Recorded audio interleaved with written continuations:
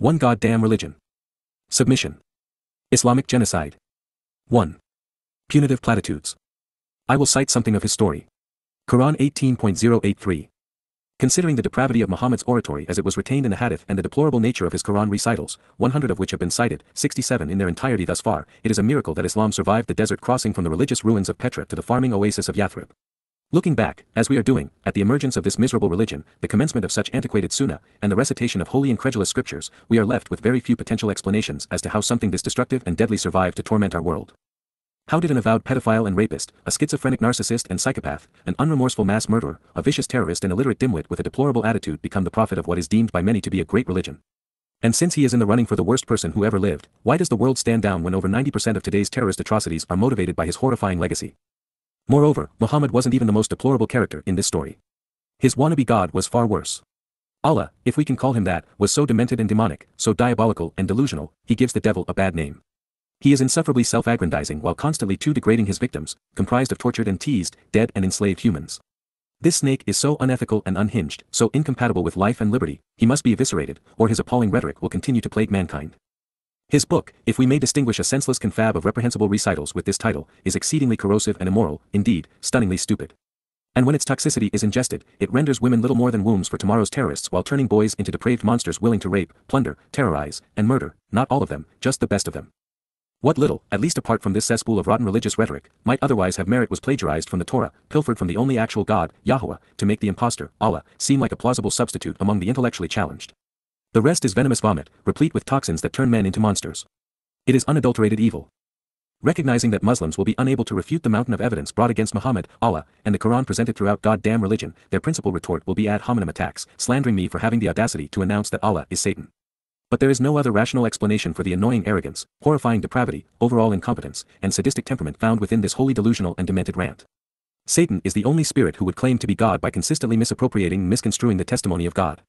There is none other who is this depraved and duplicitous, this braggadocious and dishonest. And as similar as this ungod and non-prophet may appear, Allah was too demeaning and dismissive of Muhammad in the initial surahs for one to be an expression of the other. Nonetheless, the wannabe God is ever ready to condone the most reprehensible behavior, turning much of three the Quran into situational scriptures designed to satiate Muhammad's perverse cravings. Ha Satan the adversary plays a starring role in the Quran. Apart from Rabbi, Rahman, Allahi, Allah, and Allahu, his name and title are the most prevalent.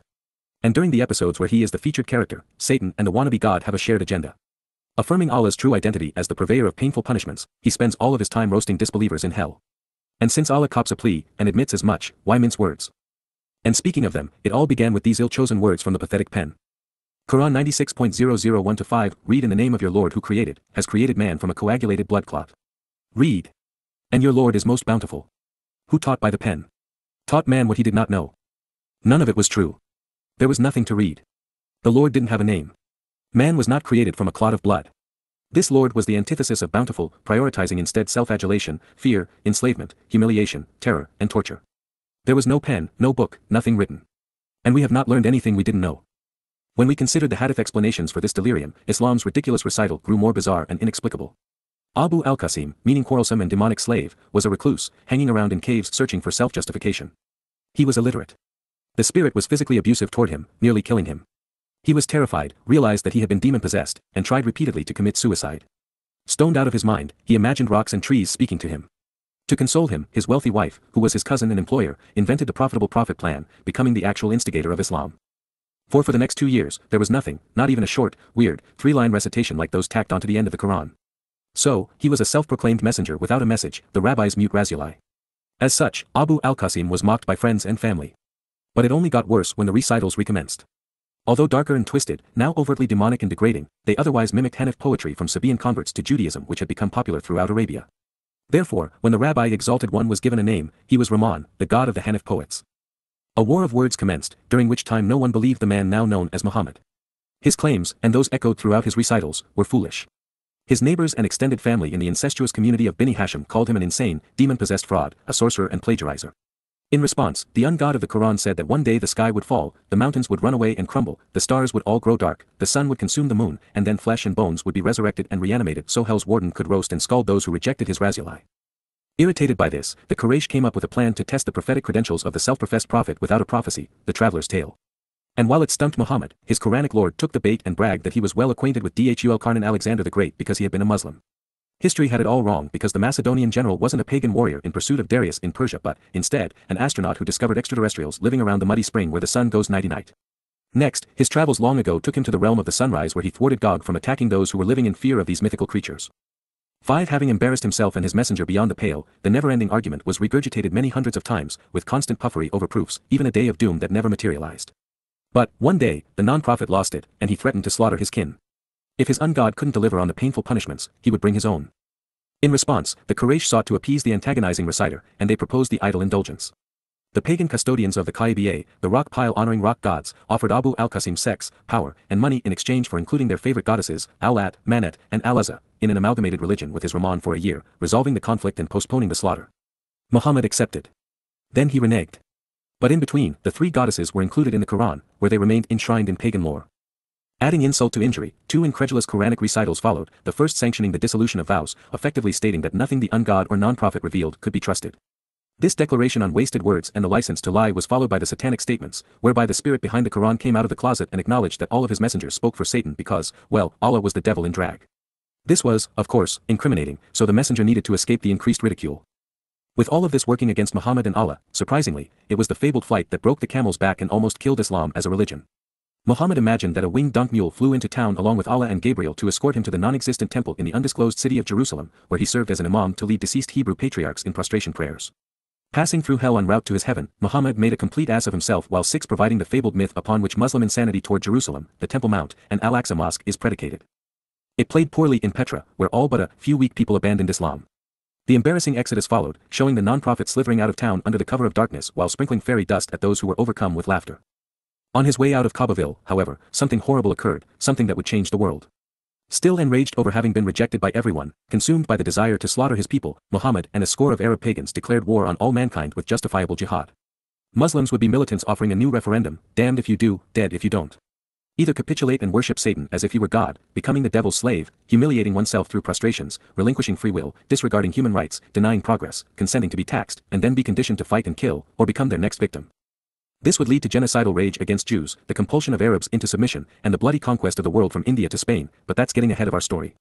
For now, Muhammad and his malcontent Muslims were making a menace of themselves in Yathrib. So as the fledgling flock of black sheep were plotting their plots and planning their plans, Ash-Shura the consultation was recited to set the mood. Quran 42. 42.001-2 Ha-Mem Sin Kaf, these letters are a miracle of the Quran and only Allah knows the meaning. The only miracle is that billions believe this trash is divine. It's an imbecilic amalgamation of self-indulgence. The impotent and illiterate spirit would have his slaves believe that this wholly deficient oratory is sublime because five Hebrew letters have been randomly strewn together. 7 And it is a miracle of the Quran because they believe it is a sign of their God's superior intellect as opposed to literary deficiency. However, should you be curious, Ham as Ham or Hem are words in Hebrew. Ham means hot and sunburnt, which could have the snake complaining about the Arabian weather. And Hem speaks of verbosity, babble with an abundance of clamor, which is also fitting considering what lies before us. As for Ayin Sin Kof, as Asak it means, to be contentious and quarrelsome, which accurately depicts the text of the Quran. And Ashak describes Allah's preference, which is, to violently oppress, to deceitfully defraud, and to wrongfully extort. Quran 42.003-6 thus reveals to you and to those from before you Allahu the to him, the mighty, the wise. Lahu to him whatever in the heavens and whatever in the earth and he the most high, the most great. Nearly the heavens break up from above them, by his majesty, and the angels glorify praises of their Lord, and ask for forgiveness for those on the earth. Lo! Verily, Allah the oft-forgiving, the most merciful. And those who take from besides Allah who wali protectors, a guard, is, over them. And you are not a warden over them. Clearly, even relocated and rejuvenated with the move to the thriving oasis of Yathrib, the snake hasn't gotten any better with practice or a fresh outlook. It is the same regurgitated rhetoric. This was a waste of breath the first time it was uttered, and now it has become irritating. The Quran's message was not revealed to anyone prior to Muhammad. If it had actually confirmed the Torah then these recitals would not have been necessary, but since it is the antithesis of Yahweh's testimony, the Quran is condemnable. 8 inches his inept audition as a wannabe god, Allahu is not mighty. With the worst book ever recited, Allahu cannot be wise. Satan is neither lofty nor good, much less great. Nonetheless, this overindulgent serpent is so impressed with his magnificence that he is claiming that the sky was about to give way and crumble under the enormity of his unbridled splendor. Unaware that spirits, even dark and demented ones, have no mass, this snake would have his slaves believe that the universe was busting at the seams around him. However, the Malaike spiritual messengers who retain their proper programming work tirelessly against this adversary, while the devil, who was once one of them, protests otherwise. He wants his ilk to glorify and praise him since he is busy doing so.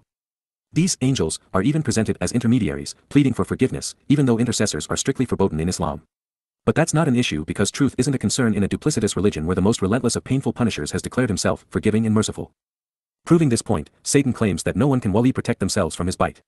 And while the devil's advocate isn't afforded the coveted title of hell's warden, the angels are assigned as guards to prevent Allah's prey from escaping. Such is the message of the Quran. Quran 42.007 Thus we have revealed to you a Quran that you may warn mother of the towns and whoever around it. And warn day of assembly. No doubt in it.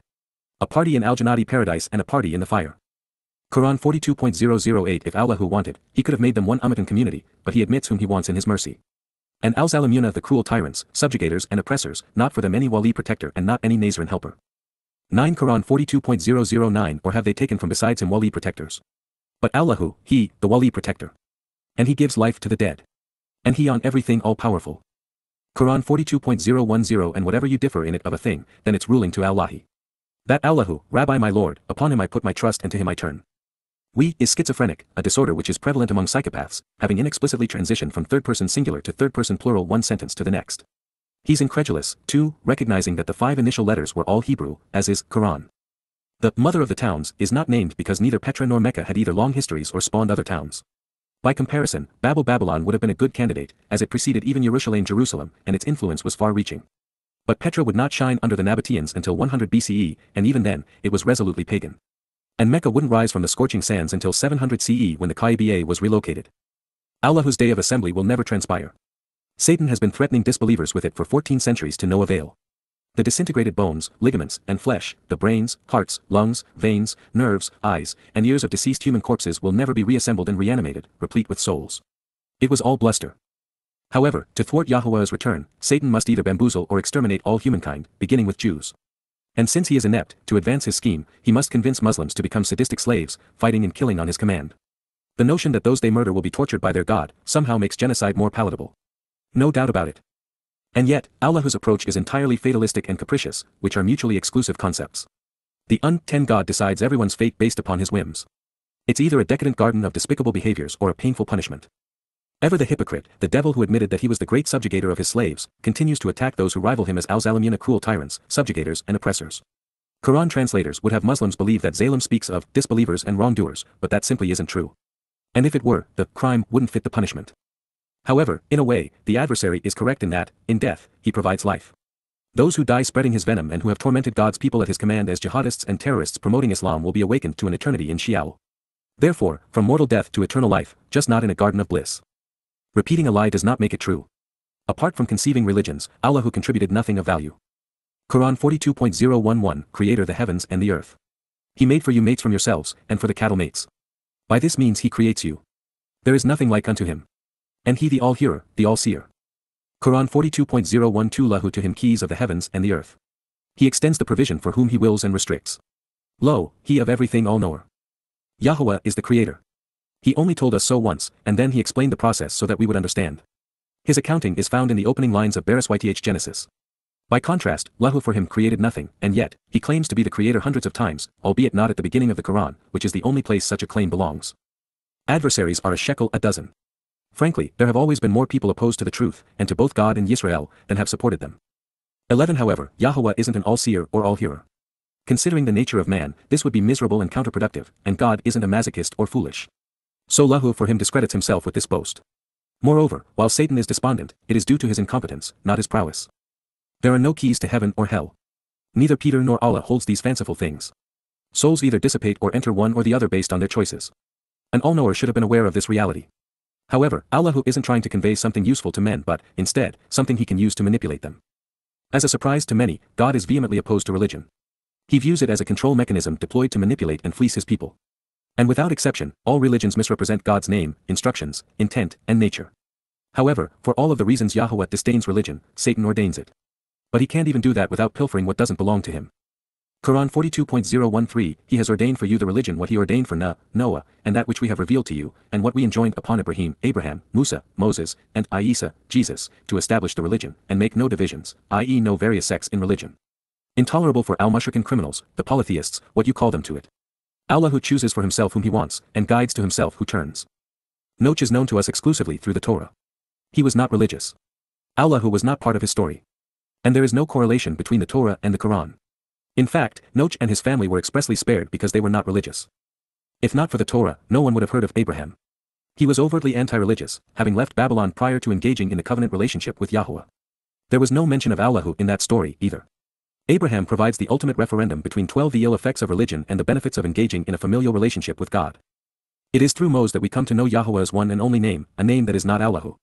It is through Moses that we are introduced to the means to emancipate ourselves from false gods like Allah rather than be subjugated and enslaved by them. It is through Moses that we are blessed with the Torah, an inspired text that is the antithesis of the Quran. Apart from wooing the ignorant by claiming these three men on behalf of Islam, Allah continues to reveal that he is Satan seeking to replace Yahweh. There is no other rational explanation for constantly misappropriating the things of God to claim to be God. For example, Isa is either a transliteration of Esau, whom God hated, or Jesus, who never existed.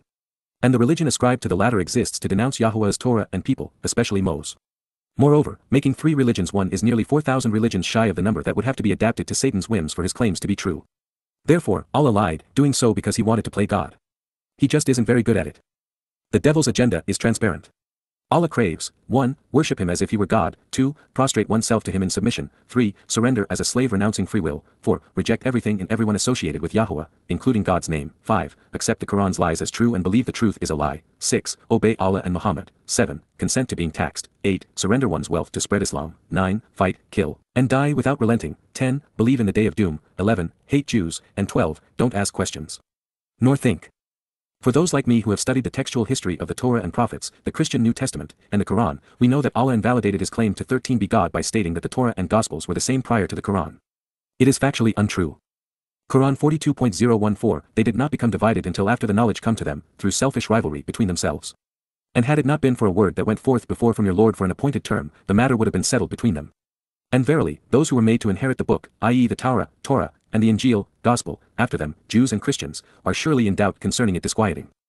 Quran 42.015 So unto this, religion of Islam, alone and this Quran, then invite, and istiqim, i.e. stand firm on Islamic monotheism by performing all that is ordained by Allah, as you are commanded.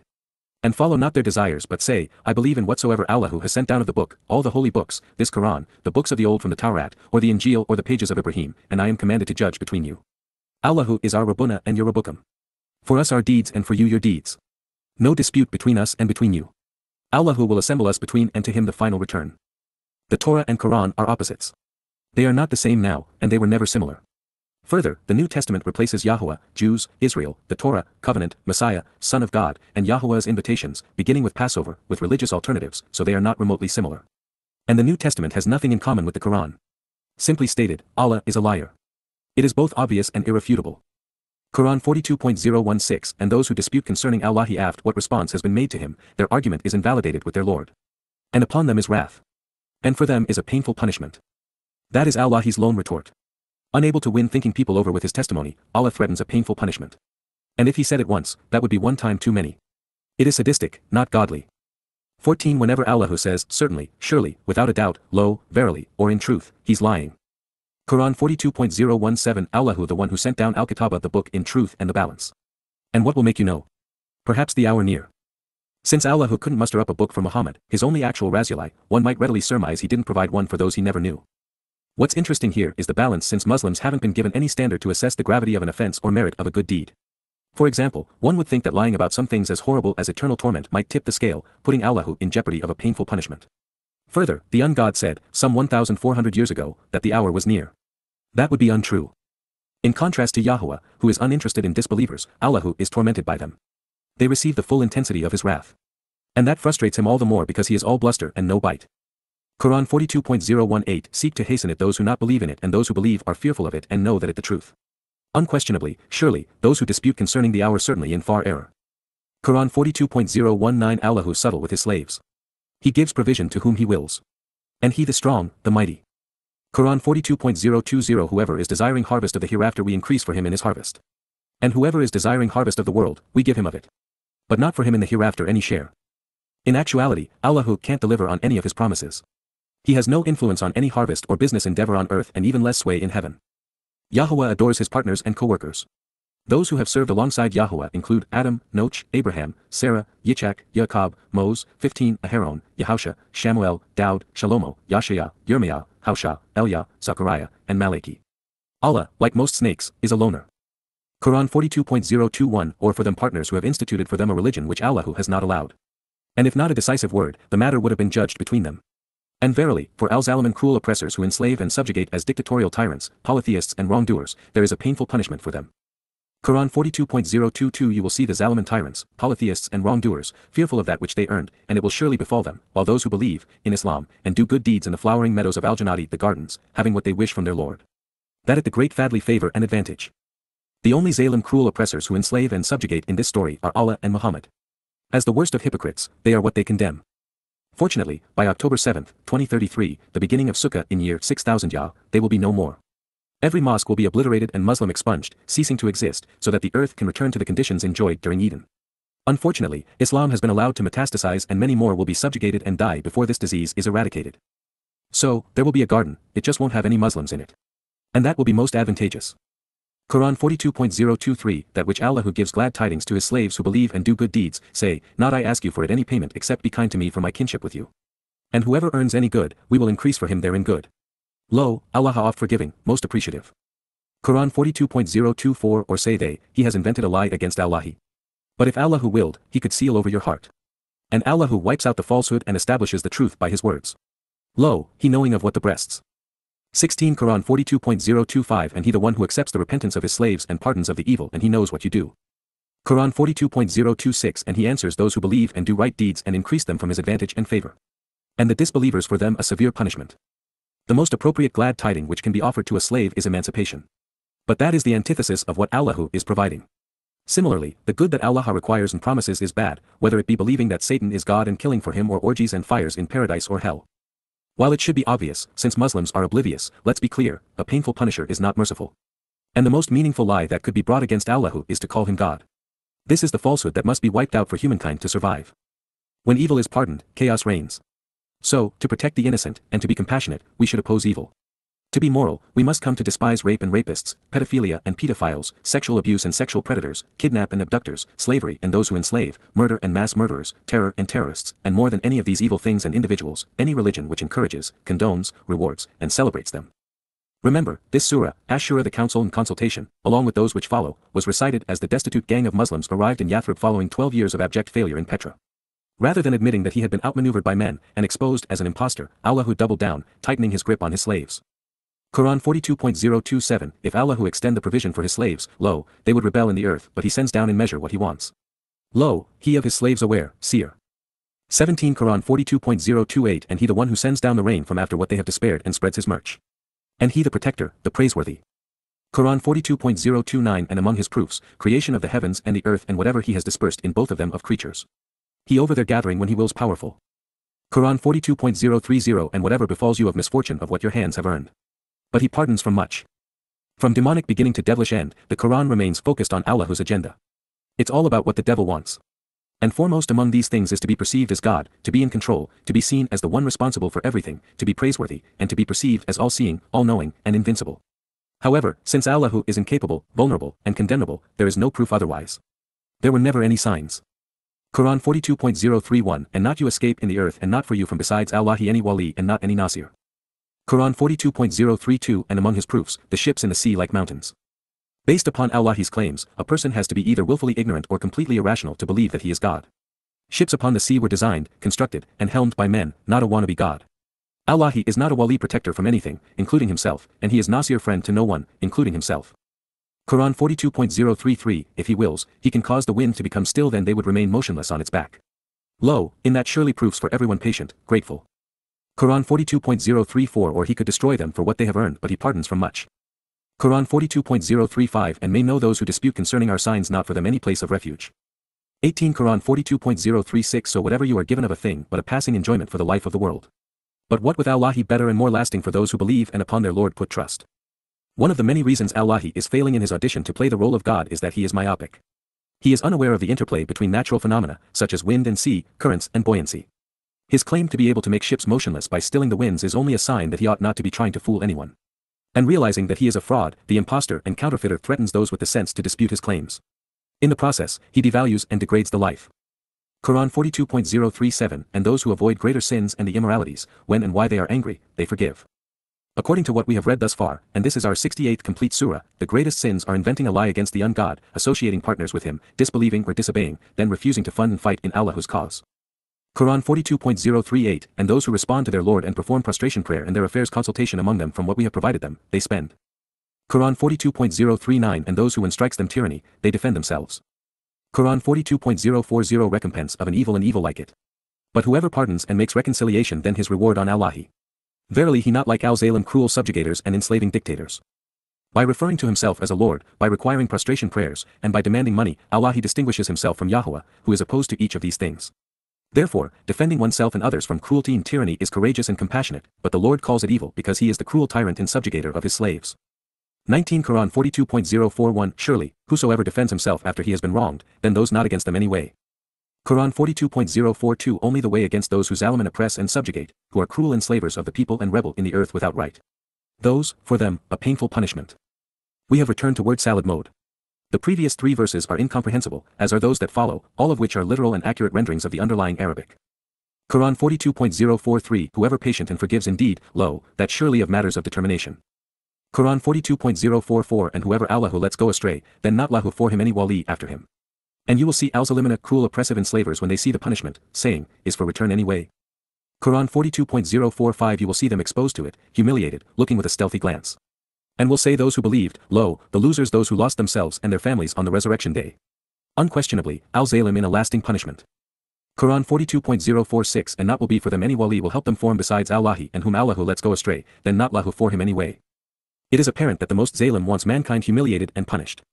And while human civilization has been rife with cruel lords and tyrants and ripe with subjugation and slavery, Allah he works alone.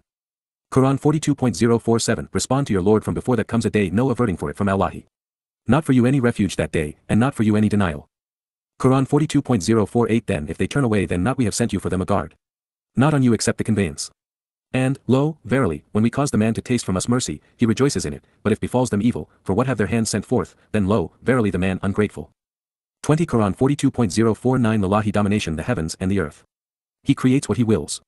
He grants to whom he wills females and he grants to whom he wills the males. Quran 42.050 Or he grants the males and females and makes whom he wills barren. Lo, he knower, powerful. While Allahi will meet his doom, it will not be on his day or in his way. Moreover, to avoid being caught up in it, read the Torah, engage in the Berith, and respond to the Mikri Y. To learn how, should you not already know, visit yadayah.com and begin reading.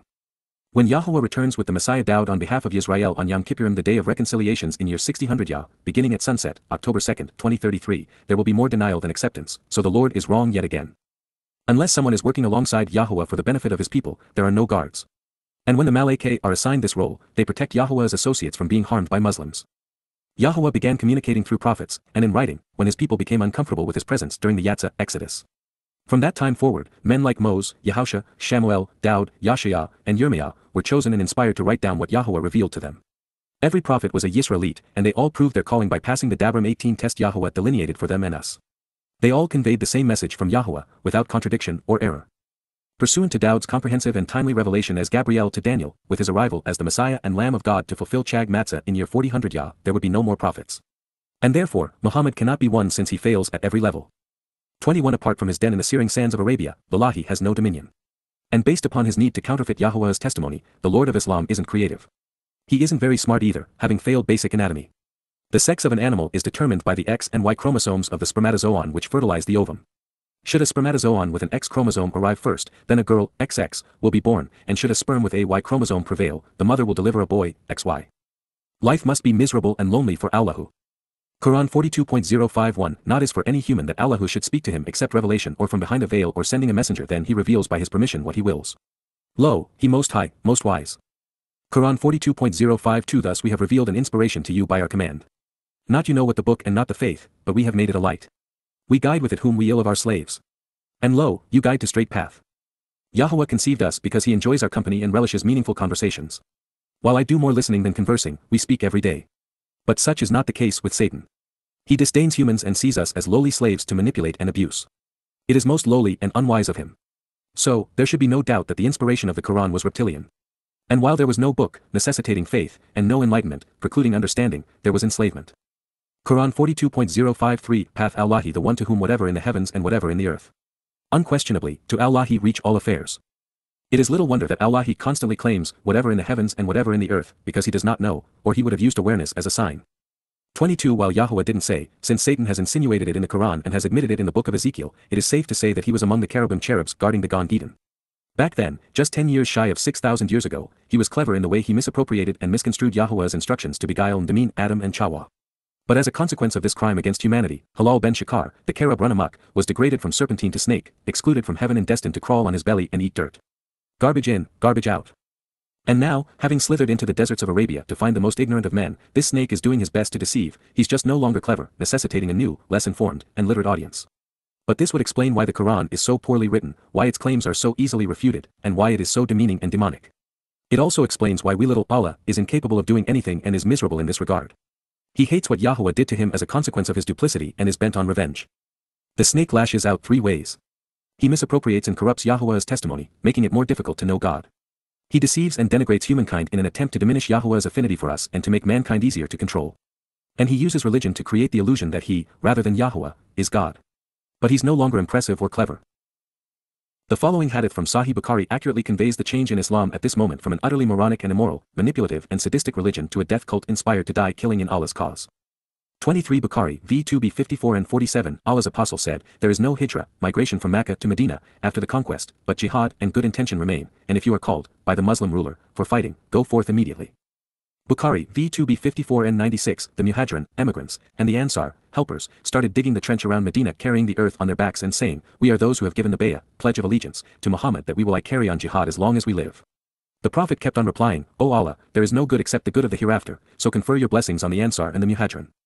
As a harbinger of days to come, Muslims, now bent on killing, were occupying Jewish land while complaining about the Jews who had made it habitable. To set the scene, we continue our journey into the mindset of the adversary and the devil's advocate with Al-Jathiyah crouching. Quran 45.001 Hi-Mem, none but Allah knows their meaning. Quran 45.002 Revelation, the book from Allahi, mighty, wise. Quran 45.003 Lo, in the heavens and the earth, surely signs for the believers. Quran 45.004 In your creation and what he dispenses of moving creatures, signs for a people who are certain. To say that the Quran is repetitive to a fault is too kind. If the revelation of Allahi were pared of redundancy, it would be a pamphlet. Since the ungod is insistent on claiming that he provided a book, be aware that the first written book containing some semblance of these oral recitals would not exist for another four generations, passed along via hearsay an entire century after they were revealed. Therefore, the non-book could not have been a sign. Nor was the earth. Just because he was condemned to eat it does not mean Satan conceived it. Yes, I know the old adage, you are what you eat, but it does not apply to the snake who was rebuked for what he had done to separate man from God. 24 Bukhari v6b 61 n 502 The Prophet remained in Mecca for 10 years, during which the Quran used to be revealed to him, and he stayed in Medina for 10 years. According to this hadith, from the most highly respected source, only 10 years, not 12, transpired from the first horrible revelation in the cave to the Hijra. And once in Yathrib, there were other priorities since Quran recitals weren't mentioned after the declaration of war. This known, the following hadith suggests otherwise, that the revelations were more frequent just prior to Muhammad's death. Bukhari v6b 61 n 505 Allah sent down his divine inspiration to his apostle continuously and abundantly during the period preceding his death till he took him unto him. That was the period of the greatest part of revelation, and Allah's messenger died after that. Not only are contradictions like this proof that neither the non-prophet or the ungod can be trusted, the evidence is in conflict with this declaration. Based on the content, some 90 surahs were first recited in Petra, leaving no more than 24 revealed in Yathrib. Moreover, this deplorable excuse for divine inspiration was Muhammad's only miracle, and thus sign. Bukhari v6b 61 n 504 The Prophet said, Every prophet was given miracles because of which people believed, but what I have been given, is divine inspiration which Allah has revealed to me. So I hope that my followers will outnumber the followers of the other prophets on the day of resurrection. In other words, what we are reading is Muhammad's and Allah's best and only shot at demonstrating their claims to be prophet and God. Are you impressed? Before we continue, be aware. Bukhari v6b 61 n 506 Once the Prophet fell ill and did not offer the night prayer for a night or two. A woman, the wife of Abu Lahab, came to him and said, O Muhammad! I do not see but that your Satan has left you. Then Allah revealed, Surat ad-Duha 93, by the forenoon, and by the night when it darkens, your Lord has not forsaken you, nor hated you. We should be appreciative of al-Bukhari retaining and sharing this hadith, affirming that the non-prophet's Lord 25 was none other than Satan. He had possessed Muhammad during the dark and demonic episode in the cave when the first surah was revealed, and he had not forsaken his messenger. Quran 45.005 Alternation of the night and the day and what Allah who sends down from the sky of provision and gives life thereby the earth after its death and directing winds, proof for a people who reason. Quran 45.006 These proofs of Allahi we recite them to you in truth. Then in what statement after Allahi and his proofs will they believe? Quran 45.007 Woe to every sinful liar Quran 45.008 who hears signs and verses of Allahi recited to him then persists arrogantly as if not he heard them. So give the happy tidings of a painful punishment. Allah who must progress beyond gibberish before anyone is asked to believe that he sent down celestial provisions, alternates day and night, and killed the earth so that he might revive it. We has his head so far down the snake hole he wouldn't know the truth if it bit him on the tail. So, if we are to, woe every sinful liar, wouldn't the Lord of lies be the first to fall? Allah he persists in his arrogant puffery. So, let's offer the happy tidings of a painful punishment. Since he is so disheveled over having been reduced from cherub cherub to snake, he's not much going to like the demotion from the earth to Sheol. And horror of horrors, he will be surrounded by his partners in crime. Muhammad was not a happy camper and, therefore, death would ensue. Bukhari V9b 88 and 182 Once the Prophet stood over one of the high buildings of Medina and then said, to the people, Do you see what I see? They said, No, he said, I see afflictions falling among your houses as raindrops fall. Bukhari V9b 88 and 183 The Prophet said, Time will pass rapidly, good deeds will decrease, miserliness will be thrown, in the hearts of the people, afflictions will appear and there will be much al-harj. They said, O Allah's apostle. What is al-harj? He said, killing. 26 Killing. This is the Islam of Yathrib, the Islam that survived Muhammad and haunts us today. Quran 45.009 When he knows of our signs and verses anything he takes them in ridicule. Those, for them, a humiliating punishment. Quran 45.010 Before them is hell. And not will avail them what they earned anything, nor what they had taken from besides Allahi as wali. For them a great punishment. Quran 45.011 This guidance. And those who disbelieve in signs and verses of their Lord for them a filthy and painful punishment. Quran 45.012 Allahu, the one who subjugated to you the sea that the ships may sail therein by his command and that you may seek of his merit and advantage and that you may give thanks. Prior to being compelled into Islam's submission by threat of death, given a choice, most everyone rejected our signs and verses. They ridiculed them, just as we are doing today. Rather than prove his claims and validate his recitals with the conveyance of useful knowledge, an accurate depiction of science or history, or with prophecy, the ungod retreats to bluster. He is a fawnless snake, pretending otherwise to keep from being stomped into the ground. The most acclaimed of punishers wants to be appreciated by his slaves for all of the good he is doing. This is like Dr. Joseph Mengele, the angel of death, expecting a mother to be thankful that her daughter will be tortured instead. Let it be known, Allah is the great subjugator. Quran 45.013 He has subjected to you whatever is in the heavens and whatever in the earth all from him. Lo, in that surely are proofs for a people who give thought. Quran 45.014 Say to those who believe to forgive those who not hope for the day of Allahi that he may recompense a people for what they used to earn. 27 Quran 45.015 Whoever does a good deed, then it is for his soul, and whoever does evil, then it against it. Then to your Lord you will be returned. Quran 45.016 Certainly, we gave children of Israel Al-Kitaba the writing, and Al-Hukmah the wisdom, the Psalms, and Al-Nabiwata the prophethood, and we provided them of the good things and we preferred them over the Al-Alamina worlds of men and jinn. Lo, verily, delusions of grandeur serve as signs. However, just because he was allowed to meet with two people in the garden does not mean we will return to him. Yahweh, who just so happens to be God, inspired the Torah, prophets, and Psalms, giving this enlightening and enriching treasure to the children of Israel. Allah was not mentioned and made no contribution to those scrolls. Although, should he claim them, we can credit the adversary with books such as Enoch, Ezekiel, and Esther, Job and Jonah. And while they also work against him, no doubt, Satan played the lead role inspiring the books of the Christian New Testament and Judaism's Talmud and Zohar. But there were no actual prophets among such men, which is similar to the Quran in this regard. However, I'm not buying into the notion that Allah favored Jews over Gentiles, especially Romans, Greeks, and Arabs, since the evidence is otherwise. Satan is committed to their annihilation, as is evident by his religion's diabolical and militant actions against Israel in 1948, 1967, 1973, 1987, 2000, 2006, and 2023. Once again, we find the snake burying himself in his own delusions. The Torah has not changed, proof of which is provided by the Dead Sea Scrolls, which predate Islam by as much as a millennium. And the Quran emerged as the antithesis of it. Therefore, there is no possibility whatsoever that the Torah and Quran differed only after the Quran was recited. 28 This incredulously infers that the Torah was altered by the Jews in Yathrib who sold Muhammad Talmud recitals to embarrass him. That being the case, they must have been very industrious. They not only managed to find all of the Dead Sea Scrolls six centuries after they were placed within the caves below Jerusalem, but they erased every word and rewrote them, only to hide them again. And then they went into Persia and did the same to the scrolls which became known as the Masoretic text. They would also have had to have found every copy of the Talmud, both Jerusalem and Babylonian, then erased and rewritten them too, since they frequently cite the Torah. And they would have had to have done so after Muhammad started demeaning them but before he annihilated them. Quran 45.017 We gave them signs of the matter. And not they differed except from after what came to them the knowledge envy between themselves. Lo, Rabbaka your Lord will judge between them resurrection day about what they used to therein differ. Quran 45.018 Then we put you on a commanded and predestined way of the matter so follow it and do not follow desire of those who do not know.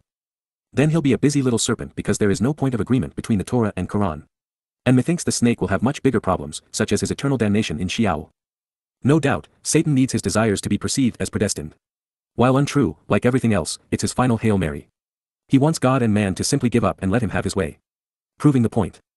Quran 45.019 Lo, never will avail you against Allahi anything. And verily, Al-Zalim cruel oppressors and subjugators with slaves, some of them allies of others. And Allah who wali the just. Quran 45.020 This enlightenment for mankind and guidance, a mercy for people who are certain. The bane of predestination is that nothing else matters, including the Quran, Muhammad, or Islam. 29 Quran 45.021 Do think those who commit evil deeds that we will make them like those who believed and did good deeds equal in their life and death? Evil is what they judge. Quran 45.022 Allah who created the heavens and the earth in truth and that may be recompensed every soul for what it has earned and they will not be wronged. Islam's good deeds are all bad, and what Allah who condemns is almost always good. Similarly, truth is inverted, such that the created and malfunctioning claims to be the creator in perfect order, creator, perfect order, order, repeat, jumble, repeat. And never be too proud to toss in an occasional word salad to keep them guessing. Quran 45.023 Have you seen who takes his God his desire and Allah who lets him go astray knowingly? And he puts a seal upon his hearing and his heart and a veil over his vision. Then who will guide him from after Allahi? Then will not you receive a warning? Quran 45.024 They say, Not it but our life of the world. We die and we live and not destroys us except the time. So not for them of that any knowledge. Not they but guess. Quran 45.025 And when are recited to them our signs and verses clear, not is their argument except that they say, Bring our forefathers if you are truthful. Quran 45.026 Say, Allah who gives you life then causes you to die. Then he will gather you to the resurrection day, no doubt about it. But most the people not know. Theirs was a thoughtful retort. Since Allah who was bragging about reassembling everyone from decayed bones, why not prove it by doing a little show and tell with their fathers and grandfathers? But inept as snakes are in such matters, Allahu shimmied out of the way and hissed, I can really, really, do it, no doubt about it, but not right now, not on command because it's only on the predestined resurrection day which never seems to come. But most people know not. You believe me, don't you? 30 Quran 45.027 For the Lahi domination of the heavens and the earth and the day is established, the hour that day will lose the falsifiers. Quran 45.028 And you will see every nation kneeling. Every nation will be called to its record. Today you will be recompensed for what you used to do. Quran 45.029 This our record speaks about you in truth. Lo, we, ourselves, transcribe what you used to do. Quran 45.030 Then as for those who believed and did good deed will admit them their Lord in his mercy that it declare success. The closer the antagonists get to the truth, the bigger the snake's bluster. Now, rather than individual disbelievers being shackled and tortured, its entire nations prostrating themselves in recompense for what the nation did to irritate the adversary. And that's hard to imagine, considering the history of civilization. Quran 45.031 But as for those who disbelieved, then were not my signs or verses recited to you but you were proud and you became a people criminals. Quran 45.032 And when it was said, Lo, promise of Allah he true and the hour no doubt about it you said, not we know what the hour. Not we think except an assumption and not we convinced. The one who disavowed and sought to replace God's testimony is calling the informed and rational disbelievers. The most arrogant of spirits is besmirching the thoughtful by labeling them proud. The most notorious criminal of all time, the ungod who sanctioned armed robbery, kidnapping, rape, and mass murder, even terrorism and disavowing sworn oaths, is accusing those who didn't participate in his crime of being crooks. No doubt about it. Proven no less by snappy dialogue. Quran 45.033 Appear to them evil what they did and envelop them what they added mock. Quran 45.034 It will be said, Today we forget you as you forgot meeting this day of yours and your abode the fire and not for you any helpers. 31 Quran 45.035 That because you took signs and verses of Allahi in ridicule and deceived you the life the world. So this day not they will be brought forth from it and not they will be asked to appease.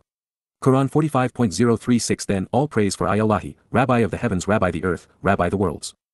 Should the snake prevail and eliminate all thoughtful and rational people, should his goons apply sufficient coercion, all praise would be for the Rabbi of the worlds. Quran 45.037 And Lahu for him, the greatness in the heavens and the earth. And he the strong, the wise. Methinks not, but that is because methinks. Nevertheless, the more for him boasts, popping scales in self-adulation, the easier it becomes to identify this Lord with the Lord of the ultimate satanic prophecy found in Yashaya Isaiah 14. Continuing to stroke his own ego, Lalahi would have his dim-witted slaves believe. Quran 57.001 glorifies Lalahi whatever in the heavens and the earth and he the Almighty, the Wise. Quran 57.002 Lahu for him dominion the heavens and the earth. He gives life and causes death and he over all things all powerful. Quran 57.003 He the first and the last, the apparent and the unapparent. He of everything knower. Quran 57.004 He the one who create the heavens and earth in six days then he rose over the throne. He knows what penetrates in the earth and what comes forth from it and what descends from heaven and what ascends therein. And he with you wherever you are. And Allahu of what you do all seer. Quran 57.005 Lahu for him dominion the heavens and earth and to Allahi are returned the matters. Beyond the fact Yahweh is God and Allah is Satan, one brilliant and the other dim-witted, one caring and the other demented, one influential and the other impotent, among the most glaring differences between Yahweh and this impostor is that God wants to elevate humankind while Lahu 32 is fixated on elevating himself while demeaning everyone else.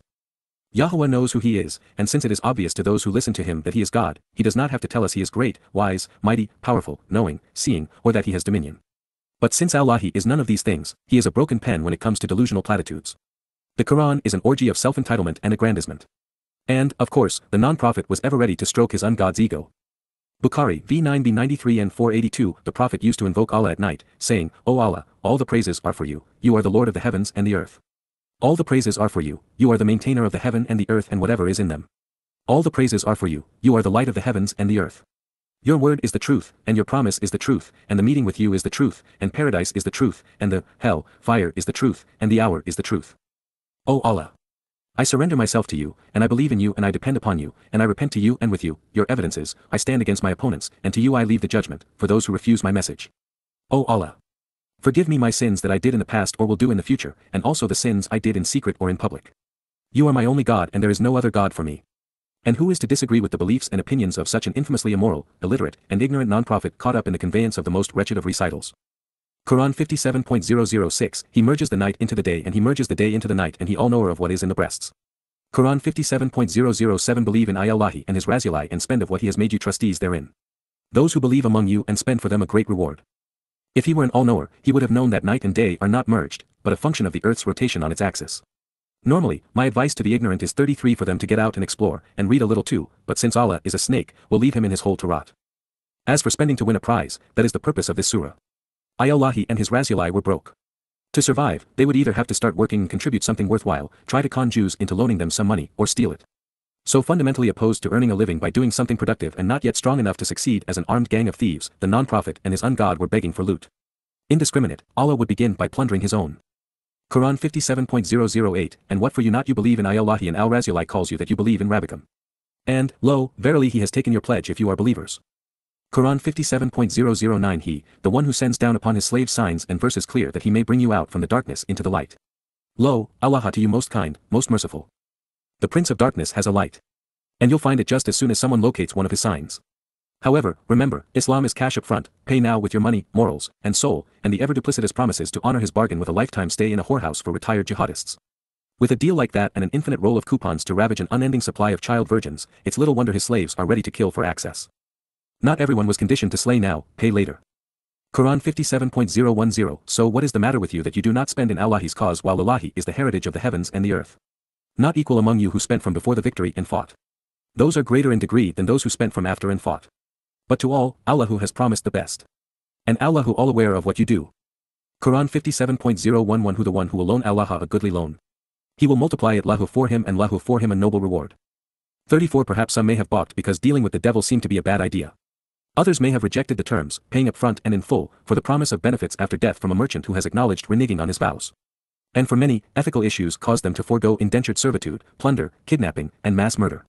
A few may have decided against living in a whorehouse with scum. But make no mistake, incompetent Allah is demanding that his slaves not only fight and kill for him, but that they also fund the war. So remember, the nicest prizes are for the biggest spenders and most prolific killers. Therefore, you can be a Muslim moron and sponsor a death cult, sacrificing your life to murder non-Muslims. You can opt out and become their next victim. Or you can join me in opposing Islam. But let no one pretend that this is a religion of peace. Islam was in transition mode, from ridiculous religion to justifiable jihad. So, otherwise inept Allah was priming the pump, acquiring blades, and recruiting the men to swing them. Islam would become a criminal enterprise, plundering for profit. And since plundering was a group activity, non-profit was in cahoots with his ungod. Bukhari, v2b 24 and 486, narrated Abu Huraira, Allah's apostle said, Whoever is made wealthy by Allah and does not pay the zakat of his wealth, then on the day of resurrection his wealth will be made like a bald-headed poisonous male snake with two black spots over the eyes. The snake will encircle his neck and bite his cheeks and say, I am your wealth, I am your treasure. Then the Prophet recited the holy verses, Let not those who withhold. To the end of the verse, dot. Quran 3.180. The penalty for the rich not paying their fair share for the war to annihilate mankind seems more like a promotion in that they will be transformed into little Allahus. Nevertheless, this was no laughing matter. There were people to rob and kill, and mayhem requires money. 35 Bukhari, v2b 24 and 489, narrated Al-Ahnaf bin Qais, while I was sitting with some people from Quraysh, a man with very rough hair, clothes, and appearance came and stood in front of us, greeted us and said, Inform those who hoard wealth, that a stone will be heated in the hellfire and will be put on the nipples of their breasts till it comes out from the bones of their shoulders and then put on the bones of their shoulders till it comes through the nipples of their breasts the stone will be moving and hitting. After saying that, the person retreated and sat by the side of the pillar, I followed him and sat beside him. I did not know who he was. I said to him, I think the people disliked what you said. He said, These people do not understand anything, although my friend told me. I asked, Who is your friend? He said, The Prophet said, O Abu Dhar. Do you see the mountain of Uhud? And on that I, Abu Dhar, started looking towards the sun to judge how much remained of the day as I thought that Allah's apostle wanted to send me to do something for him and I said, Yes. He said, I do not love to have gold equal to the mountain of Uhud unless I spend it all, in Allah's cause, except three dinars, pounds. These people do not understand and collect worldly wealth. No, by Allah, neither I ask them for worldly benefits nor am I in need of their religious advice till I meet Allah, the Honorable, the Majestic. Never underestimate Islam's propensity to be cruel. Allah and Muhammad were the best of sadists. They just weren't very good at reciting. Quran 57.012 Day you will see the believing men and believing women running their light before them and on their right, happy tidings for you this day. Gardens flowing from underneath it the rivers abiding forever therein. That at the great, the success. Quran 57.013 Day will say the hypocrite men and hypocrite women to those who believed, wait for us. We may acquire of your light. It will be said, go back behind you and seek light. Then will be put up between them a wall, for at a gate, its interior in it mercy, but its exterior facing towards it, the punishment. Quran 57.014 They will call them, were not we with you? They will say, yes, but you led yourselves to temptation and you awaited and you doubted and deceived you the wishful thinking until 36 came the command of Allahi. Wagarakam and deceived you with Ayallahi, Al-Garuru the deceiver. The Carib cherub of diminished energy is back, taunting his light even though it was extinguished six millennia ago. And perhaps hoping to be Shakespeare, he resumes his snappy repartee between the bedazzled and the damned. Wait for us. We want virgin boys, too. Let's make a toast with Allah's special brew and indulge in sharing the low-hanging fruit while rafting down the subterranean rivers.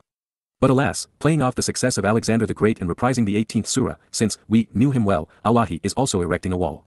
And this is a magic barrier because this wall creates an interior and exterior, separating heaven and hell by the thinnest of margins. But woe to the stingy because it's too late to invest in murder and mayhem. Quran 57.015 So today, not will be accepted from you any ransom and not from those who disbelieved. Your abode is the fire. It is your place, and wretched is the destination. Quran 57.016 Has not time come for the hearts of those who believe to be affected by Allah's reminder, and what has come down of the truth. And not they become as those who were given the book, the Taurat and Injil, from before. Was prolonged for them the term. So hardened their hearts and many of them fasiq and disobedient.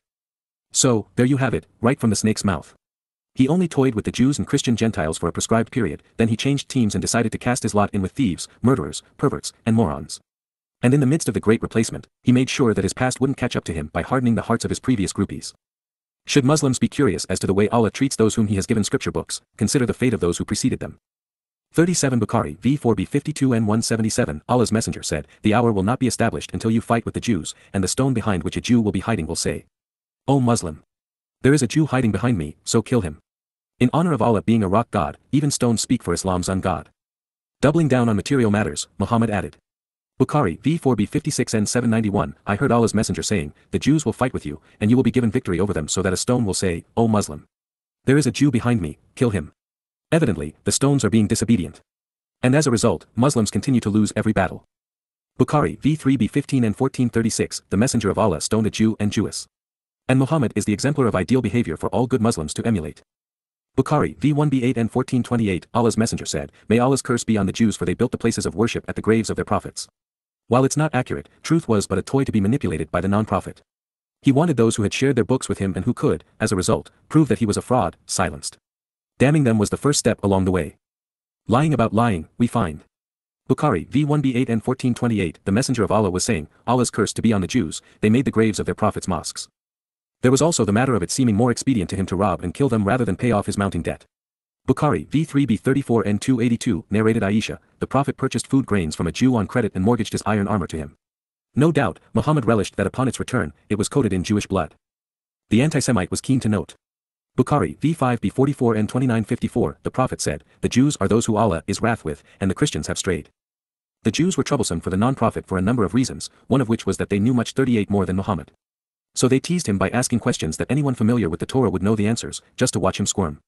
Bukhari v1b3 and 127 narrated Abdullah, while I was going with the Prophet through Medina and he was reclining on a date palm leaf stalk, some Jews passed by. Some said to the others, ask him about the Spirit. Some of them said that they should not ask him that question as he might give a reply which could displease them. But some of them insisted on asking, and so one of them stood up and asked, O Abu al-Qasim. What is the Spirit? The Prophet remained quiet. I thought he was being inspired divinely. So I stayed till that state of the Prophet, while being inspired, was over. The prophet then said, And they ask you concerning the Spirit, say, The Spirit, its knowledge is with my Lord. And of knowledge you have been given only a little. Quran 17.085. They were pretentious malcontents, wallowing in their own ignorant delusions of superiority. The Ruach, known as the Ruach Kodesh set apart spirit, is the maternal manifestation of Yahweh's nature. She enlightens, enriches, empowers, nurtures, perfects, and protects the children of the covenant. I know this because I've studied Yahweh's Torah. And since the non-prophet and ungod claim that this divinely inspired testimony was confirmed by their Quran, and that Musa was a Muslim, they should have known it, too. Quran 57.017 Know that Allah gives the earth life after its death. Lo, verily, we have made clear to you the signs so that you may understand. Since we've been listening, we know that Allah claimed to have killed the earth and then brought his slave back to life, making it clear proof for those who do not think. So, now, with this reminder, it's back to begging. Quran 57.018 Lo, the men who give donations and the women who give money and who lend Allah a goodly loan, it will be multiplied for them and for them a noble reward. 39 For the really big score and to honor the pledge to annihilate humankind, I Allahi would need martyrs in addition to money, so. Quran 57.019 Those who believe in I Allahi and his Rasulai, those, they the truthful and al-Shahado the martyrs with Rabbi him. For them their reward and their light. But those who deny our proofs, those companions of the fire. In Islam, there is no reason to live, only to die. Sure, life is miserable under Islam, and Muslims are haunted by the disparity between them and those not cursed by the Quran, so I Allahi disparaged life in the here and now. Quran 57.020 Know that the life this world only play in amusement, and adornment and boasting among you, and competition and increase of the wealth and the children, like example a rain pleases the tillers, its growth then it dries up and you see it turning yellow, then becomes debris but in the after a severe tormenting punishment, and forgiveness from Allahi in pleasure, but not the life the world except enjoyment delusion. There are a number of ways to present Allah's impoverished rant. I can mislead by copying and pasting from any of the 66 available translations and provide the false impression that the ungod is quasi-literate. The second option is to add the missing verbs, pronouns, conjugations, articles, and explanations within parentheticals, even though that's misleading because we are apt to read them as if they were actually in the text. Or third, I can present the most accurate and literal rendering possible, but then the message is poorly communicated, and we are left trying to figure out who said what to whom, why, where, and when. Who knew that wannabe gods were so inept and that the Quran was so deficient? In this case, since life is meaningless, why not die killing for the inept god? And how can it be amusing for a slave? How is it adorned? If it is a time for boasting, that cannot be bad since it is Allah's preoccupation. And while 40 we compete at many things, it's never for an increase in children. Further, since the ungod is so inept with his metaphors, why must he persist in making a fool of himself? Life is akin to a rain which pleases the tillers, whose growth dries up, you see it turns yellow, then becomes debris. That's so bad, it's shameful. Illiteracy aside, it's on with the slave Olympics. Let every Muslim compete for the stone medal. It's yours if you fund death and die killing in the oneness of Allahu. Quran 57.021 Race one with another towards forgiveness from your Lord, and towards a garden, the width whereof is as the width of heaven and earth, prepared for those who believe in I Allahi and his messengers. That is the merit of Allahu which he bestows on whom he wills. Allahu is the owner of great advantage. Mind you, the race is in vain because the outcome was fixed. The winners and losers were predestined and the rabbi rubbed Adam's back, producing righties and lefties. Moreover, it is evident that reptiles have wee little brains because the garden cannot be as depicted. The earth is not flat, as Allahu protests, so it has a diameter and a circumference but not a width. And no matter which is chosen for comparison, the universe or heaven. The cosmos isn't finite but, instead, expanding, and at 96 billion light-years in diameter currently, the physical bodies Allah intends to reside therein wouldn't be precluded access to 99.999 x 10,100 of it. And if the spiritual realm, seven dimensions cannot be compared to three dimensions, rendering the measurement absurd. Allahi is easily the most inept wannabe god to ever audition for the part. Quran 57.022 Not strikes any disaster in the earth and not in yourselves but in a book from before that we bring it into existence. Lo, that for Allahi easy. 41 Quran 57.023 So that you many not grieve over what has escaped you and not exult at what he has given you. And Allahu not like every self-deluded boaster. The ungod who couldn't manage a book for his only actual Rasulai claims that he has one that contains everything, no matter how insignificant, that has ever occurred to the 100 billion people who have come and gone and to the earth itself over 5 billion years. And yet, Allah is not like every self-deluded boaster. Sounds like self-loathing to me. But who can blame him? He's a loner, hanging out with scummy Arabs in the desert who are centuries from having developed running water or functional toilets. So he's a miserable bastard. And for a wannabe god with endless bounty, he sure seems to be as broke as his non-prophet. Quran 57.024 Those who are stingy and enjoin the people's stinginess, and whoever turns away, then, lo, indeed, Allah, he free of need, the praiseworthy. I have raised copious amounts of capital in my day for various business ventures, but never once by calling investors stingy or telling them that I really didn't need their money. It's hard to imagine Allah surviving an IPO. It is incredulous, actually, that the ungod would beg for money, plead for investors, bribe his slaves for a goodly loan, while besmirching Muslims as stingy while telling them that he has no need of them. That being the case, flip Allah the bird and flee. Quran 57.025 Certainly, we sent our Rasulana with clear proofs, and we sent down with them Al-Kitaba the writing and the balance that may establish the mankind justice. And we sent down the iron wherein is mighty power and benefits for the mankind, and so that Allah who may test who it is that will help him and his Rasulahu unseen. Verily, Allah all strong, almighty. Ungod and non-prophet went 33 years without providing a single credible proof, clear or otherwise. And 42 there was no book sent down, no balance either, or even the means to operate it appropriately. And that's the good part because the Lord of Delusion would have Muslims believe that he sent iron down from the heavens for swords, because, unlike truth or love, there is power in weapons, which are such a benefit to mankind. Even worse, the advent of metal for weapons is so that Allahu can test the religious, to see who dies the fastest or who kills the best. Does the Lord really want to be that crass and transparent? Quran 57.026 Certainly, we sent Nuh and Ibrahim, and we placed in their offspring al-Nabiwata the prophethood and al-Kitaba the writing and among them a guided one, but most of them defiantly disobedient. If Satan had beguiled the gullible and immoral into surrendering their souls to him without misappropriating Yahweh's testimony, that would be disappointing, but not catastrophic. Lord only knows why he cannot stand up like a proud cobra and create his own goddamned religion without being such a weasel and stealing everything. Is Allah so incompetent, so inept and imbecilic that he cannot even weave a plot of his own? Good grief, Allahu, is pretending to be God. Why not at least act the part? How can this buffoon claim to be the creator of the universe when he can't even compose his own story? The founder of Chris Lamb from the Talmud was a very confused reptile, one who had chased his tail one too many times. Not only were Noach and Abraham bookless, we had nothing to do with either man. And the God who actually knew them and saved them via the Ark and the Covenant, does not even mention the notion of being disobedient. There is no Hebrew word for obey. God provides instructions, and we are afforded the opportunity to capitalize upon them or reject them. 43 But not Allah. He is apoplectic over disobedience. And for those who do not capitulate, becoming his thoughtless slaves, there is a painful punishment. Muhammad was the ungod's first and only Rasulullah. Sure, Antiochus Epiphanes, Peter, Paul, Luke, Vespasian, Titus, Nero, Akiba, and Hadrian had come and gone and they were despicable, some even pedophiles and rapists, some cruel and militant, some even lied about speaking for God, but none of these obnoxious men offered the complete package of unabashed evil like Abu Qasim. Isa, Jesus, is a religious fable. Daud was the Messiah, Son of God, and Passover lamb, making Jesus Christ a counterfeit. Further, the Injil, as in Evangelion, was Paul's idea, not Allah's or even Isa's. It served as Paul's personal replacement for the Torah. Although, to be fair to Satan, since Paul admitted being demon-possessed, he likely contributed to the Injil and just forgot the original terminology and co-author since six centuries had come and gone. Quran 57.027 We sent on their footsteps, our Rasulai, and we followed with Isa, Jesus, son of Maryam, Mary, and gave him the Injil, gospel. And we ordained in the hearts of those who followed him, compassion and mercy. But Rabbanitan monasticism they invented, we did not prescribe for them, only seeking to please Allah. But not they observed it right observance. So we gave those who believed among them, their reward, but most of them Fazican defiantly rebellious and disobedient. If the ungod wanted to pick a fight with Paul's Evangelion, or with the hearsay accounts attributed to Matthew, Mark, and Luke, especially in comparison to the Quran, the weakest argument should have been Rabbaniate, which speaks of living in seclusion or isolation, being aloof, concealed, detached, and in solitude.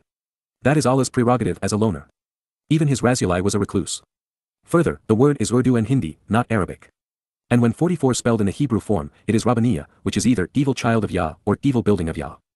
Despite the long history of monks, one never claimed isolation and poverty on behalf of Allahi. Further, it is idiotic for Allahi to claim that Rabbaniyatin was not prescribed but say that they did not observe it correctly. Since most of them were defiantly rebellious with Adam, Noah, Abraham, Lot, Moses, Jesus, and now Muhammad, even the Ad, Thamud, and people of Pharaoh, might the problem be the message rather than the messenger. Quran 57.028 O you who believe, fear Allah and believe in his Rasulai. He will give you a double portion of his mercy and he will make for you a light you will walk with it and he will forgive you. Allah who forgiving, most merciful. Why would anyone in their right mind want to be associated with someone who tells them that the more they fear him, the better? It sounds insane to me. Quran 57.029 So that people may know Al-Kitabi the writing that not they have power or influence over anything from Al-Fadla the priorities and advantage, bounty, of Allahi and that Al-Fadli merit in Allahi's hand, he gives it whom he wills. Allahu the possessor of the great Al-Fadli merit and advantage. If no one can influence anything pertaining to Allahi, what is the point of creation? Why does a snake have a cause? Why kill for him? Why believe him?